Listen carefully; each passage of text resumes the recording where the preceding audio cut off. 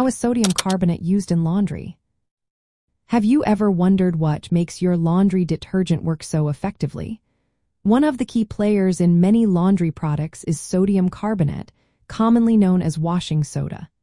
This compound is a white, crystalline powder that plays several important roles in the laundry process.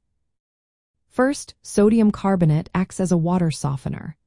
Hard water contains minerals like calcium and magnesium that can interfere with the cleaning power of detergents.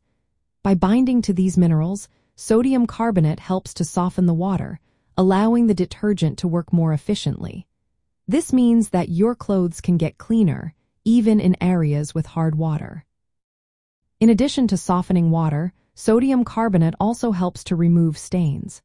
It works by increasing the pH level of the water, which can help break down acidic stains such as those from food or beverages.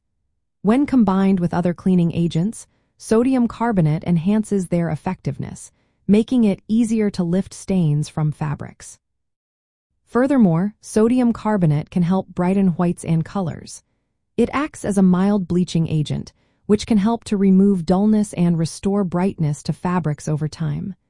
This is particularly useful for keeping white clothes looking fresh and vibrant.